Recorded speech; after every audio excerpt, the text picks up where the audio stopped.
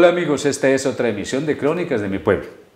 Antes de iniciar nuestro tema del día de hoy, pues yo quiero dejarles el mensaje. Cuando tengamos un problema o dificultad con un amigo, con un vecino, tratemos de solucionarlo pacíficamente. Bueno, continuamos recorriendo las calles y carreras de Marinilla y es bueno que sepamos cómo se llaman nuestra calle, por donde vivo yo, que muchas veces nos preguntan cómo se llama esta calle y de pronto no sabemos. Pero vamos a iniciar con una carrera que de pronto es muy desconocida por todos ustedes. La carrera 37. La carrera 37 es aquella, es aquella carrera que empieza en la calle 28, que es la de los héroes, entre otras cosas se llama la de los héroes, empieza en la calle 28 y sigue de de sur a norte y sigue, luego pasa en la 28A por Rincomar, luego está a la derecha está el Hospital San Juan de Dios, en fin. Para ello vamos a comentar algo de, de, esa, de ese sector. Tengo aquí mis invitados, los doctores Fernando Sarveláez y Roberto Salazar Tamacho, quienes gentilmente van, van a ilustrarnos sobre la parte eh, física de esta calle, qué había antes, en fin. Muchas gracias por estar aquí con nosotros. Doctor Fernando, usted se acuerda obviamente qué había en la calle 37, esa que queda ahí en este momento del hospital, del hospital a un lado del hospital. ¿Cómo era ese lugar allí? No, pues era cuando nos tocó a nosotros, era una manga. Era parte en la, hacia el sur, era parte del tejar de don Rubén. De don Rubén Gómez. Cuando hicieron la calle, pues es que hoy es carrera 37, pues se instaló a la parte primera con la 28, lo que es hoy el edificio de las empresas públicas de Medellín. Claro, sí, sí. Y de UNI. Y pasa por el costado del hospital y sube hacia Core y hacia arriba. Esa parte de la 29, o sea, Girardot, que coge ya pasa por Coredi, pasa por Arrayanes. Esa parte era lo que más se acuerda uno que era lo de don Rubén, ¿no? Sí, don Rubén. Bueno, eh, recordamos que esa carrera se llama Eleuterio Serna Ramírez y podemos observar una placa que tenemos en la calle 28, Jiménez, carrera 28, perdón, Jiménez, que dice allí justamente, lo podemos ver, aquí nació y vivió el doctor Eleuterio Serna Ramírez, sabio cultor del derecho público, magistrado ejemplar de la Corte Suprema, orador y parlamentario insigne, político honesto, maestro de, juventudes, cuyos talentos y virtudes ascendró en el más noble humanismo. 1886-1986 con motivo del centenario de su nacimiento. Bueno, eh, recordemos algo entonces, ¿por qué se llama entonces esta carrera 37 Eleuterio Serna. ¿Quién era Debe Eleuterio? Completar, déjeme completar el texto de la placa. Y quien la mandó poner fue el Centro Patriótico de Marinilla, que fue una organización que durante una época se preocupó de conmemorar las fechas más importantes de Marinilla, nacimientos, defunciones, acontecimientos históricos del pueblo. Desafortunadamente, pues el grupo se acabó y muchos acontecimientos se han quedado sin ser recordados públicamente. Bueno, Eleuterio Serna fue un abogado muy prestigioso que estudió primero en el Colegio de San José de Marinilla, después terminó su bachillerato en el Colegio del Rosario en Bogotá y luego se hizo abogado en la Universidad Nacional de Colombia. Eh, fue político conservador, seguidor principalmente de ese gran jefe y líder, Gilberto Alzate Avendaño, de quien era semi-paisano. Mm. Recuerde que Alzate Avendaño era hijo del general Marco Alzate Salazar, marinillo de pura cepa. El Eleuterio fue en un principio en la política, secretario de gobierno de Antioquia, gobernador encargada por ahí en la primera mitad del siglo XX. En 1934 ingresó a la Corte Suprema de Justicia y perteneció a la Corte que se llamó Admirable por la sabiduría de todos sus integrantes. Se destacó allí como un gran jurista, como un gran literato. Las sentencias de en las que él era ponente fueron muy famosas por su claridad y su conocimiento del derecho. Para hacerlo así fuera de haber estudiado mucho de su derecho, el derecho constitucional, fue traductor del derecho del idioma francés y esto le sirvió mucho para estudiar los autores franceses de derecho civil que por la época eran muy famosos. Después eh, ah, fue conocido parlamentario, fue representante por lo que llamaban en esa época el Quindío, todavía no existía el departamento, y por Antioquia, y senador de la República en más de una ocasión. hay varios discursos de él en el Senado publicados en una obra que el Congreso de la República hizo editar con ocasión del centenario del nacimiento del doctor Eleuterio. como buen orador, se le conoció con el nombre de Pico de Oro. Yo alcancé a oírle un discurso. Pico de Oro. Pico de Oro. Él fue orador acá en Marinilla, que yo recuerdo, porque lo conocí, cuando se ordenó el padre Ernesto Ramírez Gómez, Palomito que llamábamos Palomo, él se hizo un discurso muy aplaudido, muy bonito, cuando el banquete de aquellos célebres banquetes que organizaban las ordenaciones de la presentación. Ah, sí. Bueno, después Eleuterio se retiró a vivir muy apaciblemente y murió en Bogotá.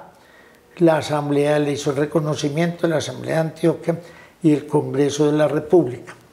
El Marinilla, aparte de la placa, por insinuación de algunos amigos también, el, el Consejo Nacional de la Judicatura le, hizo, le, puso el nombre de él a la Casa de Justicia de Marinilla. Tal vez la gente no pone cuidado a los nombres, pero ustedes si pasan por lo que llama la peatonal, o sea, la calle de San José, donde funcionan los juzgados, se llama Casa de la Justicia Eleuterio Serna Ramírez. Bueno, esto va pues para nuestros jóvenes que muchos no sabemos. De pronto eh, por la calle, peatonal no alcanzamos ver los edificios aledaños, puesto que eso es un poquito agosto, pero podemos recordar ahí. Quiero agregar una cosa. Sí fue cuando él fue magistrado de la Corte Suprema de Justicia, tuvo como auxiliar a un abogado que como abogado digamos que se frustró por volverse a la política, pero también fue un buen abogado, que fue su auxiliar, fue Alfonso López Miquelsen, mm. quien lo rodeó de mucho cariño y le tuvo mucho afecto, y Eleuterio también. bueno, interesante el dato. Se dice que el doctor Eleuterio Serna fue nombrado, además de haber sido gobernador encargado, fue nombrado en propiedad, cargo que no aceptó como gobernador de Antioquia. También fue nombrado ministro de Estado. No sé, en una ocasión comentaban que de relaciones exteriores, pero el doctor José Giraldo Serna, su sobrino, me decía hace unos meses que había sido nombrado ministro de Minas.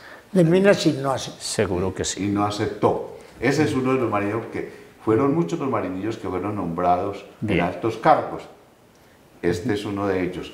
Para los, y, y, y, para los limosneros de Marinilla, la llegada del doctor Eleuterio Serna aquí a Marinilla era un gozo. Era un gozo. ¿Por qué? Porque el doctor, siempre lo recuerdo porque me tocó verlo, siempre tenía un billete de dos pesos, que era, que era mucha plata. en, ese entonces. Entonces eso le hacían fila la cantidad de limosneros. Bueno, lo mismo que hacían con Otto Marinillo, que yo recuerdo también, con, con Norberto Osa García.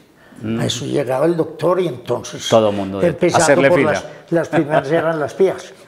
las pías. Bueno, muy bien. Como tenemos que hablar bastante de otras cositas, entonces recordemos, estábamos hablando de la carrera 37 para los jóvenes, se llama Eleuterio Serna y termina, recordemos que esa carrera 37 termina en la colina. Bueno, vamos a seguir recordando una carrera que, se, que es la 25. La carrera 25 se llama Luis Carlos García.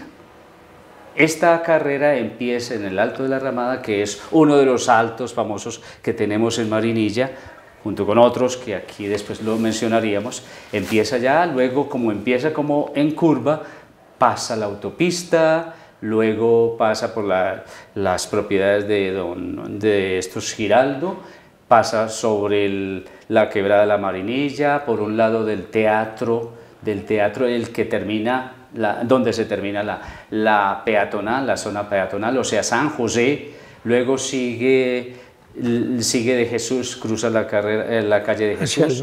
Y hacia el norte, sí, porque esta es una carrera que va de sur a norte, termina allá lo que es en la UPB. Bueno, de Luis Carlos, hablemos algo que nos pudo haber faltado la otra vez. Bueno, yo creo que hemos hablado de Luis Carlos García, de quien podemos hablar más porque lo Hay mucho que hacer. Hay mucho que decir, perdón. Yo me vanaglorio de haber sido su amigo y tengo alguna carta que en una ocasión me envió para felicitar a todo el grupo por el Festival de Música Religiosa, en el que, aunque él directamente no participó, sí lo, lo animó mucho y trajo a sus alumnos de la de Bellas Artes de Medellín a varios festivales. festivales. Fue una persona dedicada completamente a la música. Eh, ya sabemos pues, que cantó la escala de Milán, que era pues, el, deseo de los grandes cantantes. ¿Qué es?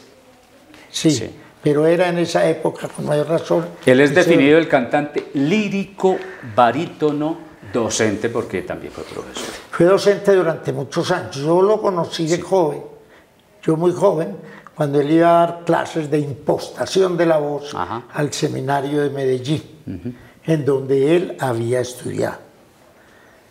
Murió soltero, y ¿qué más dijera? Que fue el primer barítono colombiano de su época. Cuando falleció, pues me tocó hablar en nombre de Marinilla en el templo de Santa Mónica en Medellín. Y al decir del sacerdote, el padre Escobar, que celebró la misa, dijo que nunca había visto un entierro tan solemne y tan bonito y tan conmovedor, porque cantaron muchísimos alumnos de él que se encontraron simplemente porque llamaron a, se avisó de la muerte de él y allí se juntaron a cantar muchos que ni siquiera habían sido compañeros del mismo grupo, pero se juntaron a cantar por la, el entierro de, de su maestro, el profesor. Sí. Roberto, Luis Carlos García Gómez. Sí. El, el maestro Luis Carlos García Gómez es el único, hasta hace pues pocos años, que lo sé con seguridad, el único americano, no el único colombiano, sino el único americano que ha pertenecido a la Academia Musical de Bolonia, Italia, que es lo más grande que hay de música clásica en el mundo. Fue allí donde, donde ratificó lo que se llamaba cantante concertista en Bolonia, una de las ciudades en Italia, justamente por, él ya había sido cantante concertista en el conservatorio en Bogotá, ah. pero allá como que vino a confirmarse. En, el maestro se aplica el adagio de que nadie es profeta en su pueblo, porque él fue más conocido por fuera que por, por fuera que en Colombia. Porque Así es. Toda, él cantó para la, casi todas las cortes europeas. Cantó en, en Jerusalén, en Tel Aviv en, el Medio Oriente, en el en Oriente, en Norteamérica, en, Sudamérica, un hombre de lo más reconocido a nivel mundial y en Colombia casi que era desconocido. Lo apreciaban más, por ejemplo, en Caracas tenía una cátedra a la cual asistía cada mes o cada dos meses, algo así. No sé si era mensual o bimensual, que el gobierno le pagaba para que él se trasladara hasta Caracas, no más, a dar sus clases de música. Y fue el primero, aquí se dice que fue el primero porque fuimos, te acordás, al lanzamiento del libro sobre la voz, que el primer libro que se escribía sobre la voz humana fue escrito por él. Crónicas, crónica y técnica del dominio de la voz. Exacto. Crónica y técnica eh, del dominio de la voz. en la en el auditorio de la Cámara de Comercio de Medellín. ¿Recuerda, Fernando, que estuvimos como invitados por el lanzamiento? y libro de consulta para mucha gente, porque esa es una de las obras cumbres de él, para los locutores. Cuando él, sabía, yo, yo lo conocí la primera vez, yo joven todavía, que alguna vez vino a Marinilla y estaban recién instalados los primeros paraguas en la casa de Arturo Gómez Moreno y él entusiasmado viendo unos paisanos y unas paisanas, las mujeres saliendo ya a la calle. Cantó allí. Ah. Nunca tuvo la costumbre de cantar en la calle, pero se cantó. Pero tal vez por ser, por ser de acá. Cuando vino la primera vez ya, en, invitado por la Corporación Amigos del Arte, no estaba programado. Pero él, como dijo él mismo, no se aguantó y cantó en la capilla de Jesús.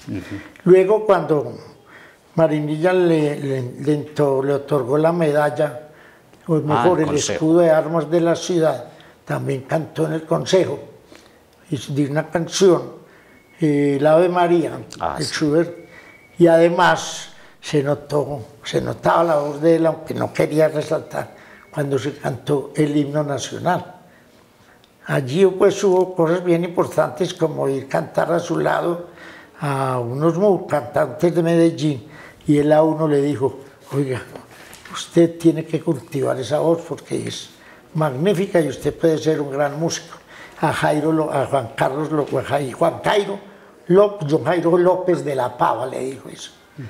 Él fue pues, quiso mucho a Marinilla, su familia era muy conocida aquí Doña Luisa, la hermana, fue, a pesar de la diferencia de edad, fue muy amiga nuestra de Roberto y mía.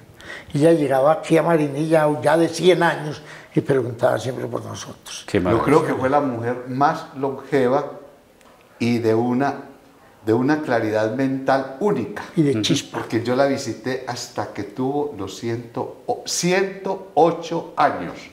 Ustedes se imaginan a una persona de más de 90 o 100 años pues se la imagina uno en una silla de ruedas o en una cama. Doña Luisa, oiga, una mujer, como hablar con una señora de unos 80 años. Y regañaba a sus hijas de 80 y pico de años como a cualquier muchachito, porque tuvo mucha autoridad. Y es más, ella tenía la costumbre de hacer un día en la semana la sopa para el almuerzo. Era la tradición donde iba toda su familia a almorzar.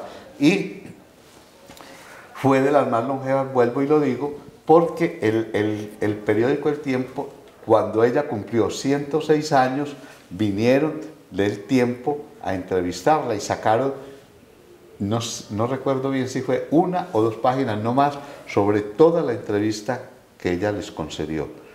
Un dato bien curioso. Resulta que ella de pronto la traía a Marinilla. Y entonces alguna vez precisamente pensando en, sus labores de cocina que no quiso abandonar. Entonces pidió que tenía que comprar algo en la Plaza de Mercado un domingo. Entonces arrimaron la familia en la Plaza de Mercado y yo, ¿qué es lo que quiere mamá? Le dije, ¿quiere? No, yo la voy a comprar. Y de más de 100 años se bajó del carro a comprar las legumbres que necesitaba. Muy asustado. Bueno, a mí me decía en una ocasión, yo voy mucho a Marinia los domingos, me llevan mis nietos, mis bisnietos, pero pero no, me da mucho guayado porque no encuentro a, ninguna de mis amigas ni amigos conocidos. Y le dije, le dice una de las tías, pero mamá, por Dios, si tenés 106 años, ¿a quién vas a encontrar de, tu edad? Decía una nieta, sí. Bueno. bueno, estamos hablando de Luis Carlos García, que es la avenida Luis Carlos García, o sea, la carrera 25. Y un dato así sencillo, recordamos también que él grabó en la BBC de Londres y en la televisión francesa. Y era mencionado como el mejor cantante americano. Bueno, ahí recordamos entonces quién fue Luis Carlos y recordemos también la carrera de los muchachos. Cuando él murió hubo un programa de varias horas en una emisora. de memoria, recordándole, en homenaje. Pero de un alumno de él, que ah. lo quería muchísimo, que es un gran locutor de fútbol. Se me olvidó el nombre en este sí, Hablando de locutores, por, por ejemplo, fue Armando Plata Camacho, uno de los locutores que está en este momento fuera. Él trabaja en una emisora en Estados Unidos, fue alumno de él. En fin, tuvo mucha, otras cosas, aquí hay un vestigio de él que es el piano de cola, que ah, es un piano muy singular, que ni, siquiera, figura en los libros, es un piano de cola totalmente rectangular, muy bello por cierto, que iba, había sido comprado por un coleccionista para llevárselo para Estados Unidos. Y yo eh, eh, le pedí al alcalde de ese entonces, Manuel Ochoa, que como fuera, no dejáramos salir ese, ese piano del país y conseguimos en que no se llevara y el, quien lo había adquirido lo devolvió a la familia y la familia concretamente, eh, ¿cómo es que la me en este momento la hermana menor? Eh, la hermana menor... ¿Fanny? No, no es Fanny. La hermana menor nos dio muy barato ese piano. Dijo, si es para Marinilla, lo doy bien barato, que valió casi Aquí lo más la traída porque tenía que ver por técnicos, eh, la traída porque bueno el piano está en la casa de la cultura. está en la casa de la cultura. Es un piano muy hermoso. Bueno, muy bien. Que vale la pena que los marineros lo Bueno, vamos a continuar. Bueno, ahora vamos a hablar de otra carrera. La carrera 27, que se llama Monseñor Emilio Botero González. Muchos no saben, vamos a hablar es, es aquella, empieza concretamente en la misma 28, entre el San José y sigue, sigue por encima y bordeando la famosa quebradita de, de Oriente, Oriente, y va a parar hasta... Hasta los extremos donde tiene prácticamente el surgimiento de esa quebrada. del surgimiento de esa quebrada. Bueno, para que recordemos rápidamente de Monseñor Emilio Botero González, algo puntual. Habría que hablar mucho, pero, pero es cortico. Fue llamado el Santo Obispo de Pasto. Santo Obispo por su sabiduría, su ponderación, su prudencia, su, queridura, era muy querido. Su humildad. y su sencillez y humildad. En ese tiempo en que los obispos andaban bien revestidos. Príncipes, realmente eran príncipes. Y él se acercaba con esa humildad a las tiendas, a los almacenes. Cuando venía Marini ya entraba a las tiendas, a los almacenes. Y saludar a todos. A las casas a saludar. Que le dijeran excelentísimo señor, ni monseñor, sino padre El padre Emilio se le conoció siempre. Sí, por testimonio de vida de monseñor José Félix Jiménez. Él decía, que lo conoció, decía, siempre tenía esa frase tan bella que él siempre decía, bendito sea Dios. Siempre lo repetí, era un santo y, dijo Monseñor, era un, el santo, de, el santo, el santo obispo se le recordó mucho. Y todavía lo Hay un museo allá donde está muchas cosas del, Padre Emilio. Sí. Y en la Basílica de las Lajas, en una de sus puertas, está el nombre. el nombre. La foto, en, vidrio. En, vidrio del Padre Emilio, como lo conocemos. Aquí hay una, un busto a él en el parquecito del frente del asilo el busto es obra de un sobrino de él, Francisco Otero. Bueno, los que lo conocimos no, es que se parezca mucho, pero alguien dice que era cuando estaba joven, que así era la figura de él. De todas maneras se recuerda al padre Emilio, como le llamaba. Hay miles de anécdotas de él, muchas. Pero la historia de él es muy larga. Fue, fue rector del seminario el segundo rector de más duración del seminario de Medellín, porque el primero fue otro marinillo, a quien le sucedió el padre Emilio, el, padre Ulpiano ah, Ramírez, y lo sucedió el padre Emilio Botero González. A su vez también fue, Fue rector aquí en el San José, que fue el tiempo donde el seminario de Medellín dio muchos muy, sacerdotes.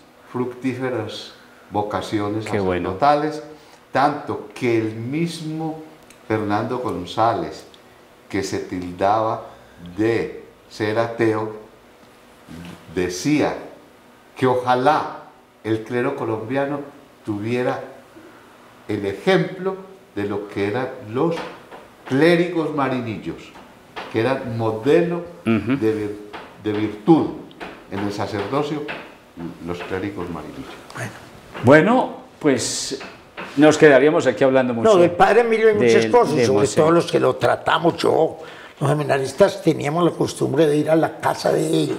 Ajá. Ay, no hablemos de la casa de él porque me da tristeza. No, da tristeza. Bueno, recordemos que fue obispo. a visitarlo eh, eh, y, a, y a felicitarlo cuando fue ungido como obispo. Entonces apenas contestaba, contestó con esa humildad. Apenas soy un un limosnero a las puertas de la casa de mi padre el Señor. Y él fue proclamado obispo en octubre de 1947. sí señor. Y, y, el, y el 30 Oiga, se de agosto 61. Yo estaba en la escuela y nos llevaron de desfile hasta Cascajo. porque era lo, que, allá, lo que antes se llamaba el tope. Vamos al tope, viene el obispo Botero González. Repite el nombre. El, tope. El tope. Sí.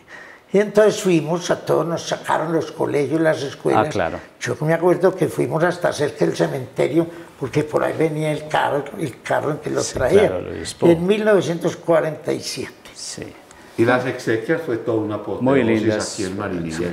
El 61. Está enterrado en la nave de la Inmaculada, aquí en la iglesia, en el templo parroquial de Nuestra Señora de la Asunción. Muy bien. Entonces recordemos que es la carrera 27, la que se llama así, Monseñor Emilio Botero González. Bueno, pues eh, yo pienso que vamos, yo los voy a invitar a todos ustedes para que sigamos hablando de, de todas estas personas que son muy queridas por toda la comunidad de Marinilla y de pronto algunas logran recordarlo, como por ejemplo Monseñor Emilio Botero González, que algunas personas viven y lo, y lo conocen. Bueno, pues amigos, esta fue otra emisión de Crónicas de mi Pueblo y los invito para que nos veamos en otra oportunidad.